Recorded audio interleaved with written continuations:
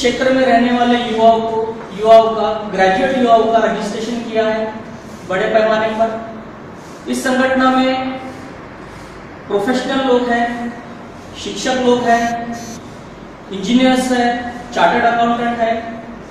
आदि जो highly educated लोग हैं, ये इस संगठन को चलाते हैं और हम सब लोग देश प्रेम का जज्बा रखते हैं। दोस्तों हमने पिछले साल भी सीनेट परिवर्तन का चुनाव लड़ा था। इसी टैगलाइन के तहत खूब लड़ लो बेटी ने आता लो बेटी ने परिवर्तन पैनल के तहत। और मुझे आपको बताते हुए हर्ष हो रहा है कि पहली बार से दो सीटें हमने सीनेट परिवर्तन में लाई थी। तो ये हमारी, हमारे लिए बहुत बड़ी उपलब्धि है। और इसका श्रेय हमारे साथ में साथ काम करने वाले सभी युवाओं को और देश प्रेमी युवाओं को जाता है। इस पदवीधर चुनाव के लिए हम पिछले चार साल से निरंतर प्रयास कर रहे हैं, कार्य कर रहे हैं। गाँव गाँव जाकर शहर शहर जाकर विदर्भ के सभी ज़िले हमने छान मारे हैं और वहाँ पर युवाओं को जागरूक करते हुए हमने बड़े पैमाने पर उनका पदवीधर के लिए रजिस्ट्रेशन करने का कार्य किया है। हमारे उम्मीदवार अतुल कुमार दादाजी कोबरागढ़े जो कि दिखने में भी युवा है। दिल से भी युवा है और कार्य से भी युवा है। ये अपने विद्यार्थी जीवन से ही युवाओं के लिए संघर्ष करते रहे हैं।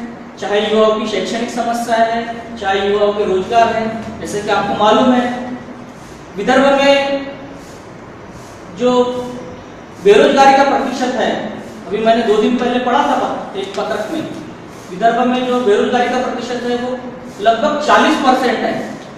यानी ये तो नाइजीरिया जैसे गरीब अफ्रीकन कंट्री से भी ज़्यादा हो गया और क्यूबा जैसे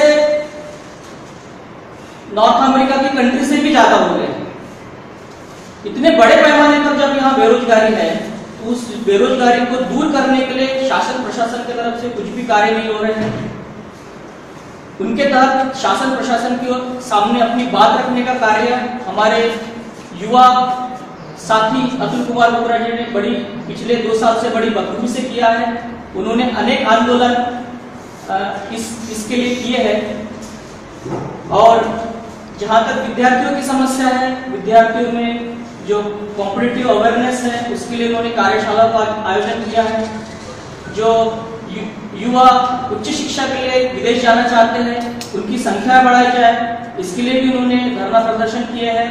और सरकार के सामने अपना पक्ष रखा है और जिसके तहत आपको मुझे बताते हुए हर्ष हो रहा है कि तीस स्कॉलरशिप से गवर्नमेंट महाराष्ट्र शासन ने इस बार बढ़ाकर पचास स्कॉलरशिप विद्यार्थियों के लिए की है फॉरेन एजुकेशन के लिए। विद्यार्थियों पर जो इंस्टीट्यूशनल अत्याचार होते हैं, जैसा कि आपको मालूम है, पायल तड़वी और रोहित विमुल का केस आप लोगों के लिए नया नहीं है। इस संदर्भ में अतुल जी ने पिछली बार बहुत उग्र आंदोलन किए थे जिसका परिणाम ये हुआ कि महाराष्ट्र के लगभग सभी मेडिकल कॉलेजेस में S C S T I T cell का आई टी सेल ओपन किया गया और अभी किसी पर भी अत्याचार नहीं हो, इसके लिए ये आई टी सेल कार्यरत रहता है। विद्यार्थियों के प्रति इसी जज्बे को देखते हुए और युवाओं के प्रति इसी जज्बे को देखते हुए परिवर्तन पैनल ने अपना उम्मीदवार अतुल कुमार दादाजी को घोषित किया है। और परिवर्तन पैनल के साथ साथ शैक्षिक, शैक्षणिक, सामाजिक और विद्यार्थियों की संगठनाएँ भी, संगठनाओं ने और कुछ राजकीय पक्षों ने भी जो अपने चुनाव, अपने, इस चुनाव में अपने उम्मीदवार नहीं उतार रहे हैं, उन्होंने हमें समर्थन करने का संकेत दिए हैं। दोस्तों, कुछ लोग हमारी इस टैगलाइन का गलत फ़ायदा उठा रहे हैं और लोगों को बहकाने और भ्रमित करने का प्रयास कर रहे हैं। मैं इस पत्रकार परिषद के माध्यम से ये बताना चाहता हूँ, खूब लड़ लो बेटी ने आता लड़ियो एक ने, ये हमारी टैगलाइन है और जिसके तहत हम पिछले चार साल से निरंतर काम कर रहे हैं। अगर जनता में कोई ये भ्रम फैलाने की कोशिश कर रहा है कि ये टैगलाइन हमारी है तो कृपया उससे सावधान हो जाए। ऐसे में सभी जनता से, मेरे साथियों से अपील करता हूँ इस पत्रकार परिषद के माध्यम से।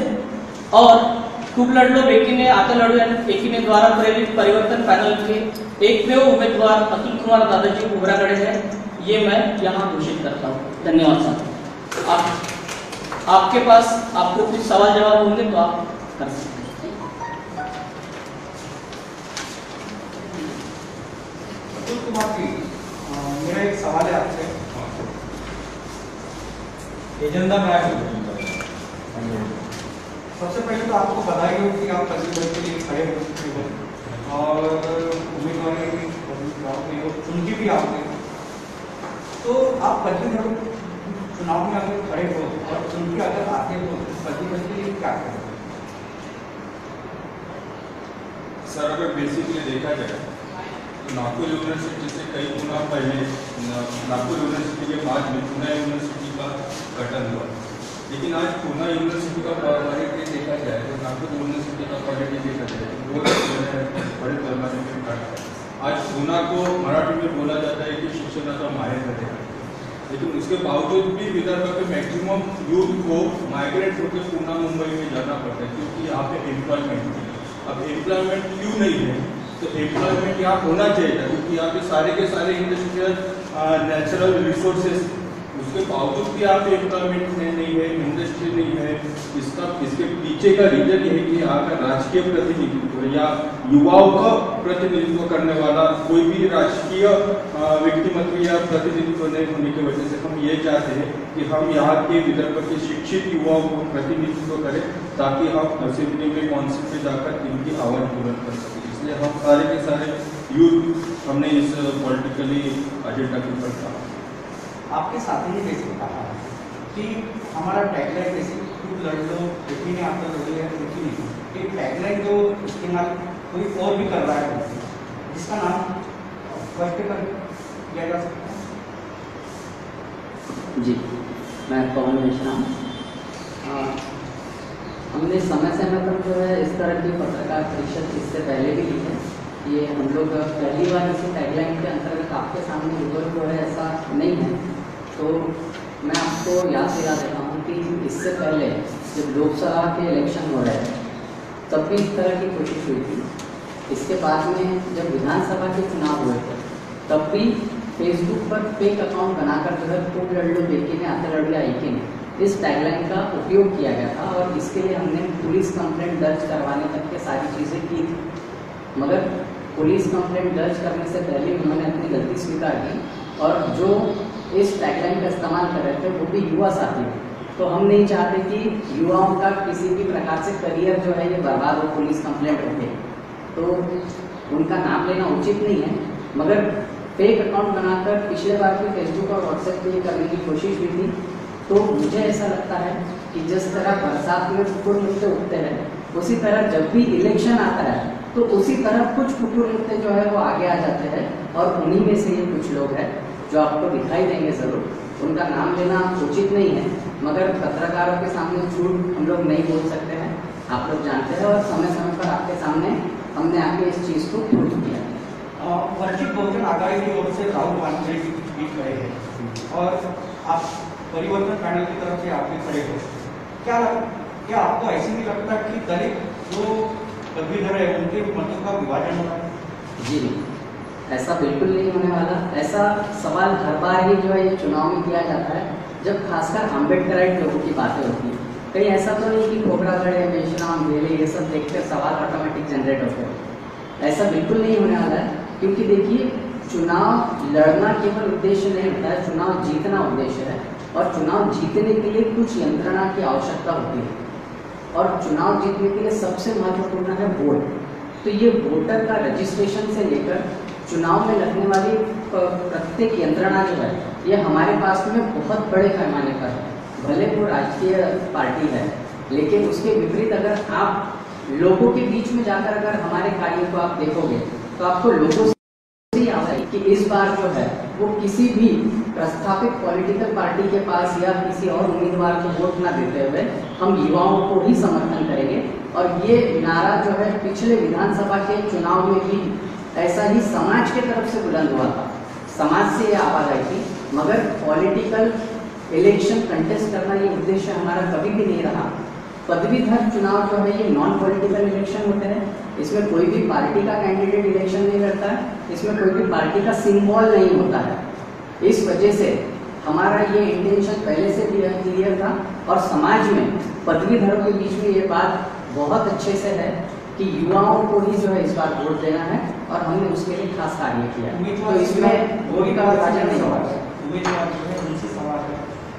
आप आपके संगठन को परिवर्तन पैनल को किस किस संगठन का समर्थन मिला है ये थोड़ा सा बताइए जी। नहीं उम्मीदवार धन्यवाद हमको बहुत सारे सामाजिक संगठनों का समर्थन मिला है। बहुत सारे शिक्षक संगठन का समर्थन मिला है। और हम यहाँ पे उनका नाम भी ले सकते हैं। सम एक्टिवेटर्स है Baba Saheb Ambedkar national association of engineers है गौतम रंगभूमि स्वतंत्र शिक्षक संगठन है प्रजासत्ताक शिक्षक संगठन ऐसे बहुत सारी संगठन है। और इसके बाद भी हम एक प्रेस कॉन्फ्रेंस लेने वाले हैं। और वो प्रेस कॉन्फ्रेंस में इन सारे संगठनों के रिप्रेजेंटेटिव रहेंगे जो हमको समर्थन करेंगे राजकीय पक्ष का भी नाम दिया आपने छोटे मोटे जो पक्ष है, जैसे आर पी आई एक टू के जो पक्ष है उसमें से किसी ने हाँ, अभी तक तो हमारी चर्चा शुरू है क्योंकि दो दिन पहले ही चुनाव घोषित हुआ है चुनाव घोषित हुआ है और बहुत सारे लोगों ने अभी तक यानी प्रिपरेशन भी नहीं किया। ये इलेक्शन ही ऐसा होता है कि प्रिपरेशन करना पड़ता है। एक साल से हम कंटिन्यूसली ये ग्राउंड के ऊपर काम कर रहे हैं और बहुत अच्छे खासे पैमाने के ऊपर हमने रजिस्ट्रेशन किया है। इसको देखते हुए बहुत सारे पॉलिटिकल पार्टियों के साथ में भी हमारी चर्चा शुरू है और ये एक दो दिन में हमको वो समर्थन देती है। क्या एजेंडा रहेगा एजेंडा क्या रहेगा चुनाव।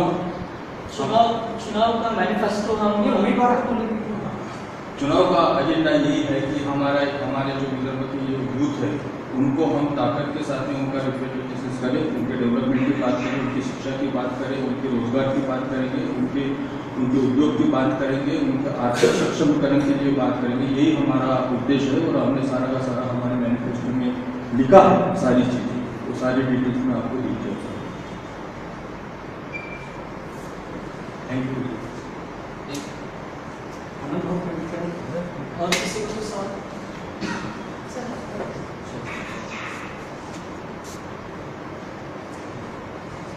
परिचित होते हैं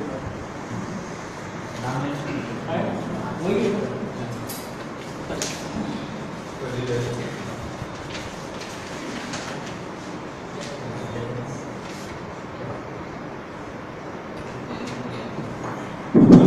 सामाजिक संगठनों के लोग हमारे साथ में चाहिए मैं advocate doctor Siddharth Kamble Buddhist Sunday school Parivartan Manch संताकार foundation ये सभी के तरफ़ से मैं रिप्रेजेंट कर रहा हूँ।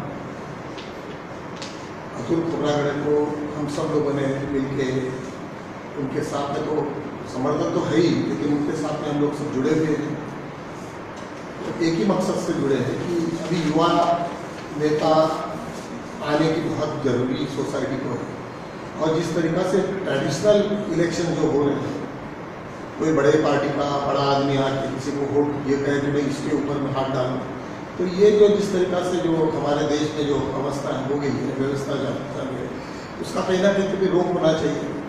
तो ये सब अंबेडकर लोगों ने हमें मिल के ये डिसाइड किया है कि इस वक्त हमारा नेता, हमारा जो कैंडिडेट है, वो अतुल खोबरागड़े रहेगा और उसी उद्देश्य के साथ में हम लोग सब जुड़े हैं। सिर्फ़ समर्थन ही देंगे नहीं तो पूरा तन मन धन से सब लोग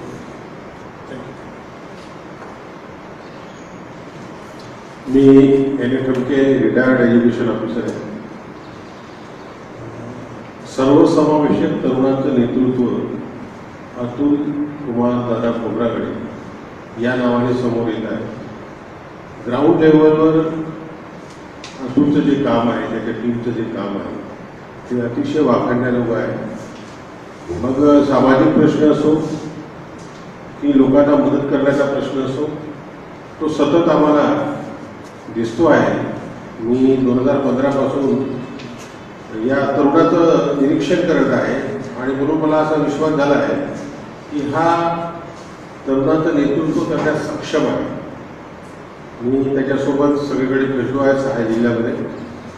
आणि हे सर्वसमावेशक आहे. म्हणजे फक्त दलित किंवा बौद्ध समाजामधूनच आम्ही प्रचार करतो आहे लोकांना सांगतो असं नाही आहे तर हे अतुल दादासोबत सगळेच लोक आहेत. S C S T V J T ओबीसीचे ज्यांना ज्यांना आंबेडकरी विचार मांडण्याचे सगळे जाती धर्माचे लोक अतुल कुमार दादा कोमरागडे यांच्या मागे आहेत. आणि यावेळेस निश्चितपणे चमत्कार होणार आहे. शिकलेलं नेतृत्व तरुण नेतृत्व गरज आहे. आतापर्यंत जे पदवीधर म्हणून आमदार झाले त्यांनी बेरोजगारीवर तरुणांच्या प्रश्नावर आणि ज्या पदासाठी ते आमदार झाले त्या पदावर गेल्यानंतर दुसरी पदं त्यांनी सांभाळली. पण तरुणांविषयी त्यांनी कुठलंही काम केलं नाही. आणि म्हणून आपल्याला परिवर्तन करायचं आहे आणि म्हणून अतुल दादा कोणाकडे हा एक कार्यक्षम तरुण उभा आहे आणि म्हणून आम्ही सगळं मी व्यक्तिशः आणि अशोका ग्रुपमध्ये मी काम करतो मोठ्या प्रमाणामध्ये. एज्युकेशनची एक टीम आहे आमची शाळेच्या संबंधात आणि इतरही शैक्षणिक समस्या संबंधात आम्ही काम करतो. सगळी टीम त्याच्या मागे धन्यवाद. मैं इंजीनियर प्रशांत अ, पेशे से मैकेनिकल इंजीनियर और खूब लड्डू बेकी ने आता लड्डू आई में इस टीम का एक कार्यकर्ता तथा स्पीकर।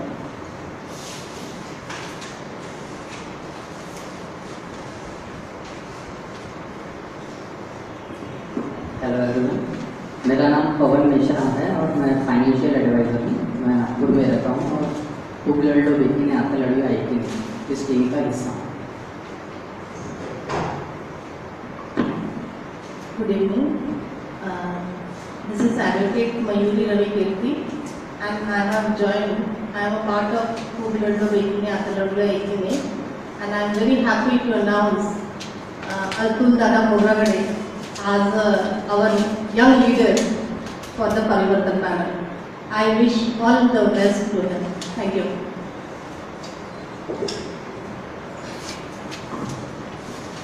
आए हुए सभी पत्रकार का फिर से मैं एक बार धन्यवाद करता हूँ। और ऐसे आशा करता हूँ कि इस युवा चेहरे को आप ज़्यादा से ज़्यादा प्रमोट करेंगे, ज़्यादा से ज़्यादा आप न्यूज़ में दिखाएँगे। क्योंकि आप सब लोग भी युवा हो तो आपकी भी इच्छा होगी कि कहीं ना कहीं एक युवा नेतृत्व सामने आने चाहिए और उन्होंने देश देश सेवा में खुद को लगाकर इस देश का परिवर्तन करना चाहिए। तो इसी आशा के साथ में मैं आप लोगों को फिर से एक बार रिक्वेस्ट करता हूँ कि ज़्यादा से ज़्यादा प्रमोट कीजिए धन्यवाद।